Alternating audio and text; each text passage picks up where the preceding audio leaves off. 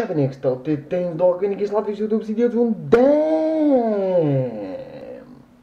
Ilgi neesam tikušies kopš iepriekšējā video. Um, jā, šitajā video es gribētu pacelt tādu interesantu jautājumu, ko es bieži dzirdējis. Nē, esmu komentos centies diži izplūst atbildot, bet tāpēc es uztaisīšu video. Ir man cilvēki pīši, kas prasa. Kā tu iedomājies izstāšanos no Eiropas Savienības un izstāšanos no NATO? Un par Eiropas Savienību, kā es iedomājos izstāšanos no Eiropas Savienības, es jums patās pastāstīšu kādā nākošajā video, lai jums ir intriga, lai jums vēlme gaidīt viņu. Šoreiz es pastāstīšu, kā es redzu izstāšanos no NATO un palikšanu neitrāliem. Jo daudzi saka, redz, ja mēs izstāsimies no NATO, tad taču mūs Krievi uzreiz savāks. Mums 20 gadus to ūdeni, to sūdu, bļeļ, lej pār galvu un likt tam ticēt. Mums čurāja virsū un teica, ka tas ir lietus. Mūs biedēja ar, ar, ar to tā rubli ievilk eiro, mūs biedēja ar Krieviju ievilk Eiropas Savienībā un NATO. Mūs biedēja ar Krieviem atkal tagad un mēs esam ielaiduši okupantu karaspēku šeit. Tā kā varbūt laiks beigt baidīties, bet risinājums ir sekojošs. Es uzskatu, ka uh, Latvijai būtu jāpaliek neitrālai. Neitrālai attiecībā uz abām impērijām. Kā mēs to varam panākt? Un panākt mēs to varam ļoti, ļoti vienkārši. Ja mēs vienojamies, un tas kādam izklausīsies kā utopija, bet te es gribētu atgādināt arī nēģeriem viņu brīvība.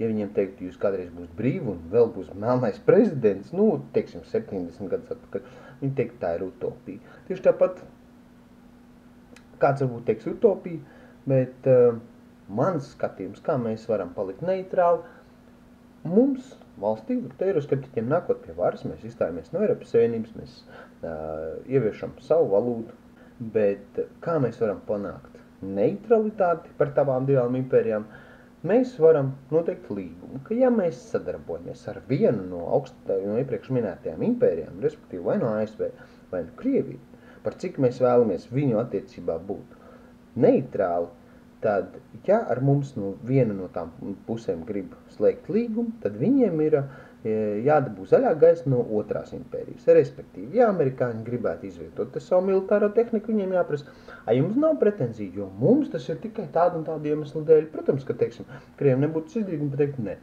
Ok, Latvija neslēdz to, tāpēc, kad otra puse nav miera, mēs gribam palikt neitrāli. Krievija tieši tāpat.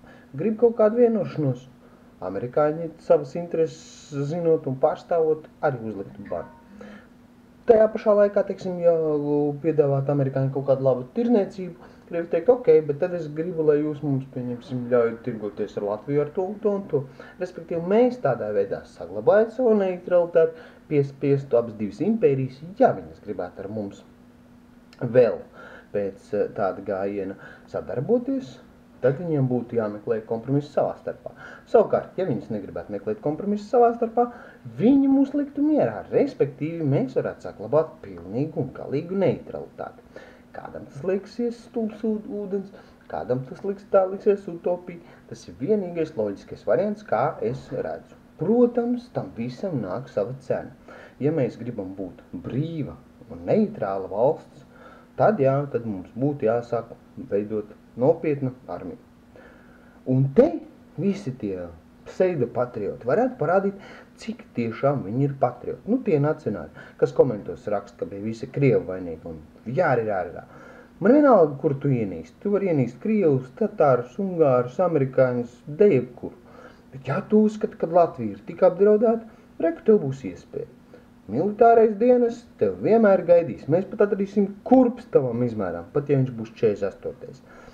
Tā kā jā, tas, tie, tie bija mani divi centi par šo jautājumu. Ja interesē kaut kas vēl, atstājiet savus jautājumus komentos, un kā es teicu, arī vēlāk pa visu kaut ko citu parunāsim. Paliekat forši, čau!